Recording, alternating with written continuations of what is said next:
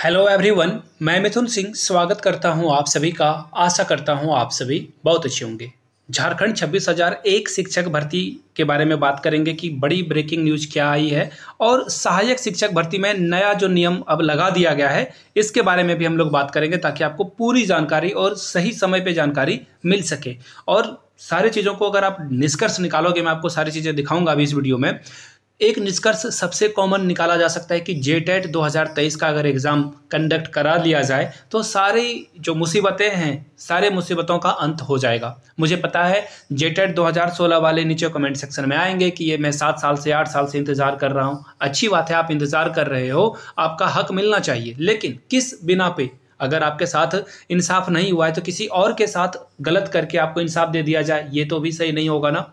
इसलिए जेटेट, अगर एक नया जेटेट कराया जाए, और कुछ लोग ना, मैं एक कमेंट पढ़ रहा था कल, मुझे बड़ा हँसी आया कि 2028 जेटेट वाले को भी शामिल करेंगे भर्ती में 2028 का भी जेटेट करवा लो अभी। ही तो इन मूर्खों को कुछ कहा ही नहीं जा सकता है, इन लोगों ने किसी तरह से जेटेट पास कर लिया है। कुछ लोग हैं आई रिपीट कुछ लोग हैं जो कि उछल कूद ये करते हैं कि फ्री में जॉब दे दो। आपको पता ही है बहुत सारे जगहों पे इन्होंने धरना प्रदर्शन किया कि हमें जो है मेघा सूची के आधार पर यानी कि मेरिट लिस्ट के अकॉर्डिंग जो है भर्ती करवाओ। तो देखिए, इन लोगों के पास कुछ है नहीं टैलेंट नहीं है, इसलिए ये ऐसी हरकतें या स्टंड कर रहे हैं। लेकिन जिसके पास टैलेंट है, वो प्रॉपरली परीक्षा देने से घबराएगा नहीं, पीछे नहीं हटेगा सीधी सीधी बात है। और हम लोगों की मांग है कि हम लोगों को हक मिले। हमारा जो हक है, हम लोगों ने बीएड में बहुत सारे पैसे बर्बाद करे हैं। जी हाँ मैंने सही कहा है, पैसे बर्बाद करें, क्योंकि अभी तक हम लोगों को हक ही नहीं मिला। ना जेटेड बैठने का हक मिला है अभी तक, और शिक्षक नियुक्ति तो दूर की कौड़ी है। फ़िलहाल, झारखंड सरकार के द्वारा जो है, रोज नए नए जो टर्म और कंडीशन लगाए जा रहे हैं, इसमें हाईकोर्ट भी बराबर की भागीदारी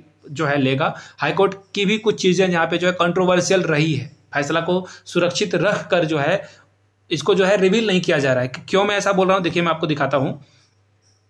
देखिए वेट ये तो आज की सबसे लेटेस्ट खबर है, मैं आपको यहाँ से देखो, दिखाता हूँ।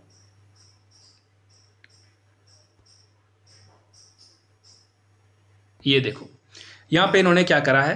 देखिए, इन्होंने जो है छः दस का आपको ये नोटिफिकेशन दिखेगा। यानी कि छः अक्टूबर को सरकार के द्वारा जो है, यहाँ से देख लो आप झारखंड प्रारंभिक विद्यालय प्रशिक्षित सहायक आचार्य के बारे में जो है नोटिफिकेशन निकाला गया है। देखिए, इन्होंने फिर से जो है रजिस्ट्रेशन की डेट परीक्षा शुल्क का डेट फ़ोटो और हस्ताक्षर के डेट वगैरह वगैरह सब कुछ लिख दिया है। अट्ठाईस दस तक से लेकर तीस तक आप जो है इसे करेक्शन कर सकते हो फॉर्म को, ठीक है?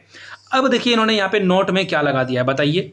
क्या लिख दिया इन्होंने? कि डब्ल्यू पी एस नंबर चालीस उनचास of twenty twenty three Bahadur Mahto versus state of Jharkhand के अंतिम आदेश से विज्ञापन प्रभावित होगा। अब मुझे बताओ कि विज्ञापन जब प्रभावित होगा तो जजमेंट आ जाने दो, उसके बाद भर्ती प्रक्रिया शुरू करना नहीं, लेकिन इन्हें जल्दी है। क्यों? ताकि किसी के साथ ये धोखा घड़ी तो कर पाए, ये सरकार जो है धोखा तो दे पाए लोगों को। क्यों? ताकि अब देखिए, एक और बात जो सामने आई है, वो भी मैं आपको बता देता हूँ। देखिए, पाँच सितंबर को नियुक्ति के समय निकले विज्ञापन पर लगी हुई थी रोक। अब देखिए, सरकार ने कहा है कि शिक्षक भर्ती जो है, नियुक्ति बहुत ज़रूरी है, लेकिन सरकार को ये नहीं पता है कि जेटेट का जो है, आयोजन कराना ज़रूरी है। क्यों? क्योंकि 2016 के बाद से जो है, सरकार है, कान में तेल डालकर सोई है कि जो परीक्षा हर साल दो बार कंडक्ट करानी चाहिए थी इनको, वो परीक्षा ये पिछले सात आठ साल से एक बार भी कंडक्ट नहीं करा पा रहे हैं। जिम्मेदार कौन है? वोट देते समय इन चीज़ों का ध्यान आप लोग नहीं रखते हो। मैं ना बीजेपी का समर्थक हूँ, ना जेएमएम का, ना कांग्रेस का। आप बस इतना ही समझ लो कि कौन सी सरकारें आपके हित में कितना निर्णय लेती है और आपका जीवन उससे कितना प्रभावित होता है। इसी आधार पर वोट आप ज़रूर दें। पढ़े लिखे लोगों का आना ज़रूरी इसलिए है, क्योंकि आपको पता है कि हमारे जो एक एक्स शिक्षा मंत्री थे, उनकी मौत हो गई, लेकिन उस इंसान ने मरे हुए लोगों के बारे में बुरा नहीं बोलते, लेकिन वो इंसान इतना थेथर इंसान था कि मरते मरते दम तक ये कह गया कि जेटेट हम नहीं कराएँगे। और भगवान ने उसे वापस बुला लिया। भगवान करे ऐसे ही बैल बुद्धियों को अपने पास बुला ले। अब देखिए कुछ बातें और है। जेटेट 2023 का आयोजन किया जाएगा या नहीं किया जाएगा, इसके बारे में भी हम लोग जो है थोड़ा सा डिस्कस कर लेते हैं। कोर्ट के बारे में भी मैंने आपको पिछली वीडियो में बताया था। देखिए आप इस वीडियो को कहाँ से देख रहे हैं, मुझे नहीं पता है। नीचे कमेंट करके आप लोगों को बताना है कि ये वीडियो आप कहाँ से देख रहे हैं और जेटेट 2023 आप लिखिएगा यहाँ पे और इस वीडियो को अगर आप रांची से देख रहे हैं तो रांची लिखिएगा। अगर आप रामगढ़, गुमला पलामू, चतरा, जहाँ से भी इस वीडियो को देख रहे हो, देवघर, मधुपुर, जहाँ से भी देख रहे हो, जामताड़ा, गोड्डा, नीचे कमेंट करके वो ज़रूर लिखिएगा, ताकि हम लोग जो है यूनाइट हो सकें। एक और बात जेटेट 2016 वाले अनर्गल कमेंट करते हैं, बेवजह की बेतुकी बातें ये करेंगे कि मैं सात साल से, इनका एक ही रोना शुरू से रहा है है ना? ये हमेशा एक ही रोना रोते हैं कि जो है हम लोग सात साल से इंतज़ार कर रहे हैं। तो सात साल से इंतज़ार कर रहे हो, तुम्हें पीएम बना दें? तुम्हारी अगर औकात नहीं है तो तुम्हारी, तुम्हें को पीएम का पोस्ट दिला दें क्या? न सीएम बनोगे? बताओ तुम ही लोग। अरे भैया, तुम्हारे अंदर क्वालिटी है तो एग्ज़ाम दो और नौकरी लो। भी क्यों मांगते हो सड़कों पे जाकर कि हमें जो है मेघा सूची के आधार पर भर्ती दे दो? ये क्यों कर रहे हो तुम? और एक पारा टीचर ने कमेंट करा था कि, आओ डिस्कस कर लो, तर्क कर लो, मैं तुमसे ज़्यादा होशियार हूँ। तो देखो भाई पारा टीचर सबसे पहले तो तुम्हारी कोई औकात नहीं है। है ना? तुम्हारी कोई औकात नहीं है। मैं बताता हूँ क्लियरली क्योंकि तुमने कोई परीक्षा दिए बिना जो है जॉब करी है। इंटर मैट्रिक करके तुम लोगों ने जॉब लिया है। मैं मानता हूँ कि कुछ लोग बीएड अच्छे लोग हैं पारा टीचर में, लेकिन कितने? गिनती के, उन्हें उंगलियों पे गिना जा सकता है वैसे पारा टीचर बाकी जो फटीचर घुस गए हैं पारा टीचर में, और ये भीख मांग रहे हैं, इनको सीट भी रिज़र्व चाहिए, इनको जो है आकलन परीक्षा में भी रिलैक्सेशन चाहिए। हर जगह पे ये कुछ ना कुछ कुछ ना कुछ करके आगे बढ़ना चाहते हैं। तिगड़मबाजी करके आगे बढ़ना चाहते हैं। मैं सीधा सीधा कहता हूँ, सरकारें हैं ना, इनको अपने सर पे चढ़ाकर बैठी है। सबसे पहली बात, आप कॉन्ट्रेक्चुअल टीचर बने हुए थे पारा टीचर कॉन्ट्रेक्चुअल टीचर है, आपको निकाला नहीं जा रहा है। और समय समय पर वेतन की बढ़ोतरी का मांग सही है, बढ़ोतरी मिल रही है। नियमित करने की मांग की जा रही है तो आपको भाई हटा कोई नहीं रहा है। आज तक किसी पारा टीचर को हटाया नहीं गया है। इसके बावजूद इनको क्या चाहिए? नियमित शिक्षक भर्ती आएगी, उसमें भी इनको हाफ़ जो है, आधा जो है, ये पारा शिक्षकों के लिए आरक्षित रहेगा। अब बताओ, ये तो गेम का नियम ही गलत है ना?